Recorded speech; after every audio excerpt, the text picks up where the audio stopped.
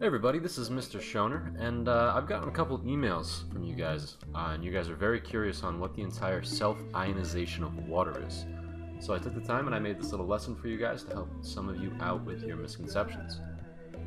So, the self-ionization of water, and this comes right off of Wikipedia, is the ionization reaction of pure water or an aqueous solution in which a water molecule, which is H2O, deprotonates Remember, a proton is also the same thing as a hydrogen atom. So deprotonating is when a water molecule loses one of its hydrogen atoms, and thus the remaining portion is your hydroxide ion.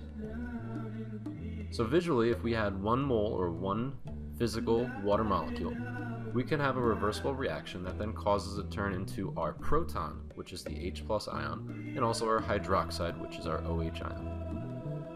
And if you have two moles of water now, again, they will undergo that reversible reaction, but now we're making the actual hydronium ion, and we're still making a base. Any way you look at it between the last two slides, a H plus ion or a hydronium ion, they both represent the same thing. They're cations, that means they're positively charged ions, and they're going to be what we call acids. That's based off of Arrhenius' acid rule.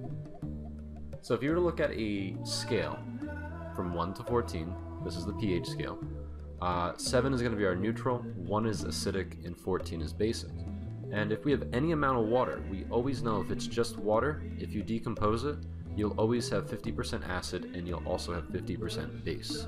So on a pH scale, that means you would fall dead smack in the middle. That's that's why water, a neutral compound, falls at 7, because water is 50% acid and 50% base. So if you look on the little graph that I made, you'll notice right now that the concentration of our solution is about 50% uh, H plus ions and 50% OH ions. And you notice on the right we have a little menu of different things we're going to be putting into the solution. So if we were to add more acid, so if we added HCl, HCl when it ionizes or when it's dissolved in water, you'll notice there's a spike in the concentration of hydrogen ions now, and we also have a little bit of Cl minus ions.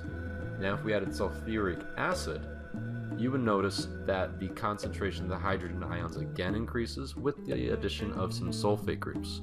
You'll also notice that our pH now is dropping closer and closer and closer to 1. So adding more acid into a pure water solution means you're going to increase the concentration of your hydrogen ions, thus making you more acidic. So now if we have this very acidic solution and we add some sodium hydroxide, you'll notice our concentration of the hydroxides is now increasing and you'll notice that we're shifting back towards neutral on the pH scale. Again, the concentration of acid, the H plus ions, is greater than the concentration of the OH ions. And finally, if we were to add some more calcium hydroxide to the solution, you'll eventually realize we teeter out and we have a neutral solution again. So you're noticing right now with the additional colors on top of, our starting uh, water concentration, you'll notice that they are also equal. And whenever you have that equal concentration of acid and base, that must mean you have a neutral solution. You'll also notice in solution we have chloride ions, sulfate ions, sodium ions, and calcium ions. So in conclusion, water can self-ionize which produces your hydroxide ions and your hydronium ions. A pH of 7 indicates that you have 50% acid to base ratio. If you add any acid, it increases the concentration of hydrogen ions, but it has no effect on the concentration of the base. And if you add more bases, you're obviously going to get more hydroxide ions, but again, this will have no effect on the concentration of your acids. Hope you guys enjoyed this video, and if you have any questions, please come and see me.